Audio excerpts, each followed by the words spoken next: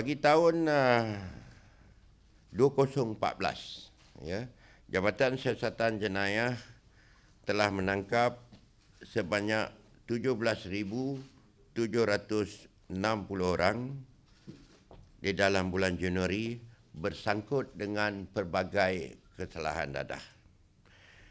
Jumlah penangkapan ini menunjukkan peningkatan sebanyak 8% berbanding tempoh bulan Januari 2013 sebanyak 16,384 orang. So, hasil daripada operasi dan tangkapan yang kita jalankan untuk bulan Januari 2014, kita telah berjaya merampas sebanyak 831 kilogram dadah pelbagai jenis.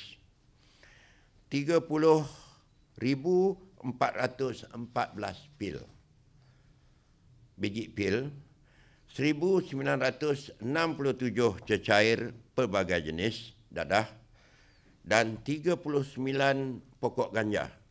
Dan kesemuanya dianggarkan bernilai 10.44 juta ringgit.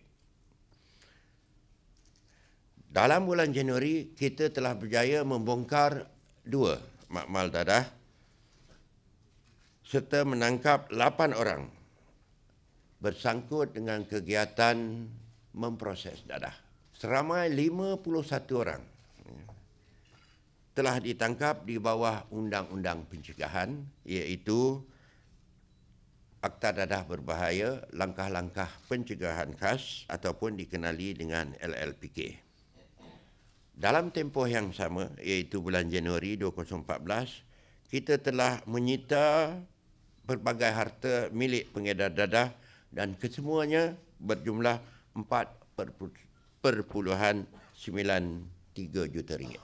Satu hari bulan Februari hingga 11 hari bulan Februari 2014. Uh, kita telah berjaya menjalankan beberapa serbuan di sekitar Lembah Kelang dan uh, kita telah berjaya menangkap 11 orang ahli sindiket termasuk dengan kingpinnya sekali ya ketua sindiketnya sekali yang terlibat dalam kegiatan pengedaran dadah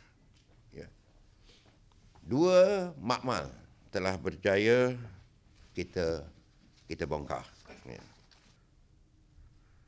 Semua tangkapan-tangkapan ini berumur antara 22 hingga 42 tahun.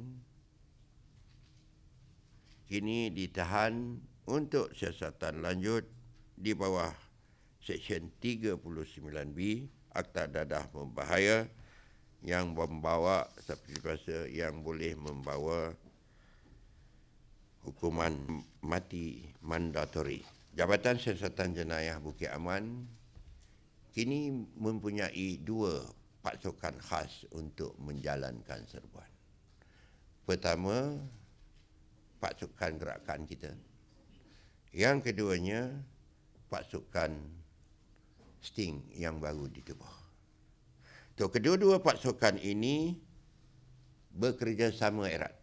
Saling duduk bersama, berbincang, bertukar-tukar maklumat dan bekerjasama untuk menjalankan pemantauan dan serbuan ke atas target-target dadah kita.